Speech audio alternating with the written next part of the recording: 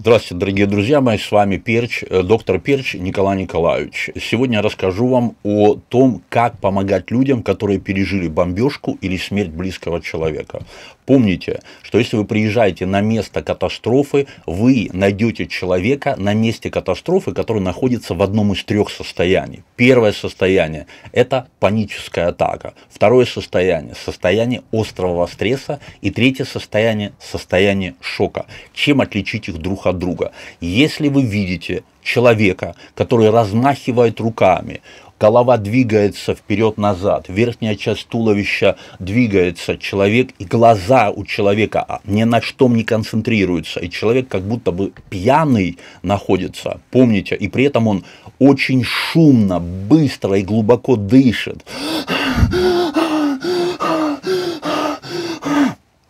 Перед вами паническая атака. Из-за того, что человек быстро, много, шумно дышит, уровень кислорода в его крови зашкаливает. Человек находится в так называемом состоянии кислородного опьянения. Этот человек абсолютно неадекватный. Он никак не будет реагировать на ваши команды. Мало того, э, у человека предплечья и кисти рук находятся в полуспазмированном состоянии. Если вы в это время подойдете к человеку, он может схватить вас за лицо, за волосы, и при этом это очень больно, и люди, у них спазмируются руки.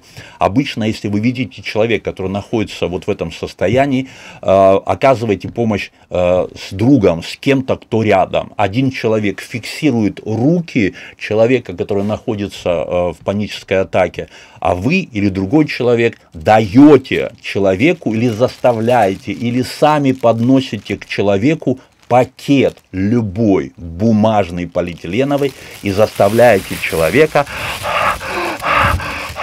дышать в пакет.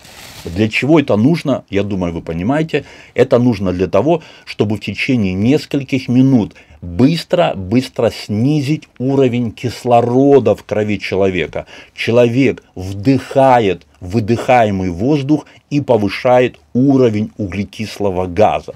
Обычно когда человек дышит в пакет вот так вот, он через несколько буквально минут, 2, 3, 4 минуты, он приходит в себя. И вы заметите, этот человек ослабит хватку, лицо этого человека изменится, у него начнут нормальные, адекватные глаза, он начнет на вас смотреть, и на ответ, кто вы, ты знаешь, кто ты такой, где ты находишься, сколько тебе лет. Не задавайте много вопросов, как тебе зовут, сколько тебе лет. Достаточно, чтобы понять, человек находится в адекватном состоянии или нет. Как только человек вышел из состояния панической атаки, все, начинайте с ним проводить десенсибилизирующую терапию, о которой мы сейчас попозже поговорим. Второе состояние, в котором человек находится, это состояние острого стресса. Человек обычно ходит из стенки к стенке, к стенке к стенке, руки его поджаты, глаза не э, адекватные, но при этом глаза не могут остановиться на месте, глаза его блуждают бывают. Человек очень часто поверхностно дышит. Его даже можно не заметить, но если э, посмотреть посчитать частоту его дыхания, это от 40 до 100 раз э, в минуту. Человек тоже находится в состоянии с повышенным уровнем кислорода, но не критичным, не настолько, чтобы человек находился в состоянии кислородного опьянения. Если человек находится в состоянии острого стресса, немедленно возьмите, посадите человека, обратите на себя внимание, заставьте его ответить на два простых вопроса, чтобы он сконцентрировался и ответил, кто он, сколько ему лет, и начинайте проводить десенсибилизирующую терапию. Третий э, состояние человека – это состояние шока Человек в состоянии шока не двигается, он сидит неподвижно, его глаза смотрят в одну точку. В этот период времени человек практически не делает дыхательных вообще движений. Наоборот, у этого человека очень резкая, резкий уровень углекислого газа в крови. И подойдите к человеку, попробуйте его живот. Обычно у этих людей мышцы живота сведены вот так вот. Человек находится в таком вот ступоре. Он смотрит в одну точку, ничего не двигается, практически ничего не понимает. Немедленно начинайте оказывать помощь этому человеку. Если вы находитесь на месте катастрофы и видите перед собой трех человек, один из которых находится в состоянии панической атаки, другой находится в состоянии острого стресса, а третий находится в состоянии шока, начинайте первому оказывать человеку помощь, который находится в состоянии шока. Так, значит, смотрите, десенсибилизирующая терапия – это терапия, дыхательная э, психотерапия, которая давным-давно используется в Израиле всеми медицинскими э, службами, службами, пожарными службами, военными службами, которые выезжают на места террористических актов или катастроф. Она состоит из двух частей. Часть номер один, первая – перехвати дыхание человека в свои руки – криками, сильными голосами, воплями, силой воли, застав человека дышать по твоему правилу. Дыхание человека должно состоять из четырех частей. Квадратное дыхание, вдох глубокий, задержка, выдох и еще одна задержка. Заставляет человека дышать на твой счет. На счет раз вдох, Теперь не выдыхай, задержи дыхание. Теперь выдыхай. Снова задержка, вдох, задержка, выдох, задержка. Как только человек понял, что ты от него хочешь, начинай увеличивать каждую продолжительность. Если это ребенок или пожилая, пожилой человек, счет раз, на счет раз-два хватает. Если перед тобой молодой человек, девушка, то можешь доводить этот счет до четырех. То есть на счет четыре. Раз, два, три, четыре. Вдох. На счет раз, два, три, четыре. Задержка. На счет раз, два, три, четыре. Выдох. На счет раз, два, три, четыре. Задержка. Повышай голос. Можешь шлепнуть человека по лицу. Самое главное, человек должен э, повиноваться. Он должен делать то, что ты ему говоришь. Обычно для того, чтобы человек чуть-чуть вышел из этого состояния и начал подчиняться тебе, начал делать вот эти вот дыхательные упражнения, пройдет несколько минут. Как только ты понял, что человек э, осознал, что ты от него хочешь, как только человек следует твоим командам и выполняет вот это вот квадратное дыхание, наступает этап номер два – ты перехватываешь у человека движение его глазных яблок. Ты заставляешь человека не просто смотреть на кончик твоего пальца, а таращиться, таращиться на кончик твоего пальца. Во время вдоха и выдоха ты подносишь палец к носу человека и заставляешь его скашивать глаза.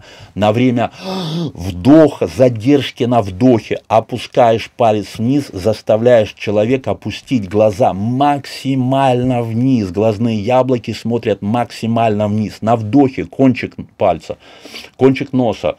И на задержке после выдоха поднимаешь палец вверх в разные углы, заставляешь человека смотреть на твой кончик пальца вверху.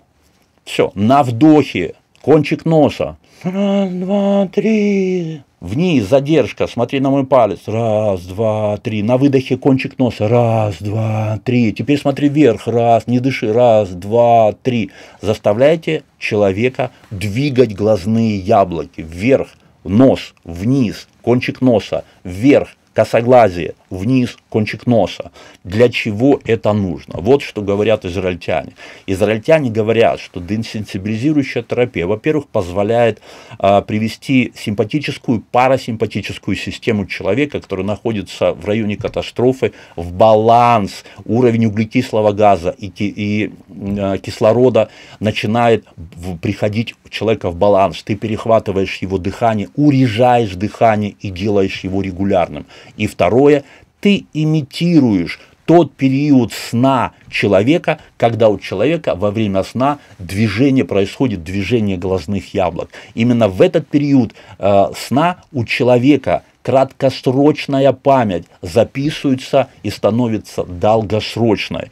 Если ты приехал на место катастрофы, оказывая десенсибилизирующую терапию, в таком случае травматическое событие, которое произошло только что с человеком, не уйдет в его долговременную память и не будет его мучить э, по ночам и не станет его э, посттравма и не станет э, как бы якорем и спусковым крючком для последующего посттравматического стрессового расстройства.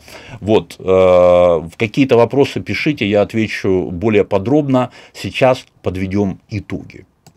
На месте катастроф человек находится в одном из трех состояний. Э, паническая атака, острый стресс, шок паническая атака, частые, очень частые шумное дыхание, человек абсолютно неадекватный. Выход очень простой, один. Дай человеку дышать в его собственный пакет. Через 2-3 минуты человек выйдет из этого состояния, станет адекватным. Второе состояние, острый стресс. Человек мечется из стороны в сторону, резко, э, часто и быстро дышит, может что-то там бормотать, и глаза его двигаются, вот глазные яблоки двигаются, двигаются, человек вот такой вот 5-7 туда-сюда бегает. И третье состояние, наоборот, человек сидит неподвижно, уставившись в одну сторону, это состояние шока. Оказывай помощь именно этому человеку первому. Что ты делаешь? Ты делаешь десенсибилизирующую терапию. Первое, ты заставляешь человека дышать, квадратное дыхание по твоему счету. Подави волю человека, заставь его делать то, что ты ему говоришь. Вдох, задержка, выдох, задержка. Как только человек понял, что ты от него хочешь, перехвати его движение глазных яблок. Если человек был в состоянии панической атаки, то десенсибилиз... десенсибилизирующей терапии достаточно в течение 5, 7, 8 минут. Если человек находился в состоянии острого стресса, 10 минут. Если человек находился в состоянии шока, увеличивай до 10, 12, 15 минут. Все это позволяет позволит человеку избежать потом посттравматических стрессовых расстройств, кошмаров и э, вообще э, не разломает человека дальнейшем его судьбу. Потому что помните, в Америке очень простая статистика. На каждого десятого солдата, который был на паях войны, один человек обязательно э, болеет посттравматическим стрессовым расстройством, которое заканчивается либо самоубийством, либо алкоголизмом, либо другими психическими расстройствами. Все, любой человек, который приехал на место катастрофы, пожалуйста, оказывайте людям десенсибилизирующую терапию. Все, хариом.